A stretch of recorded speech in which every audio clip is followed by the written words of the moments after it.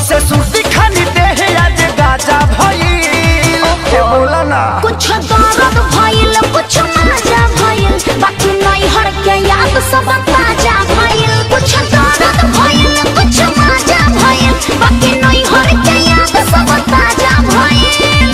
अरे बाकी mood fresh हो गइल।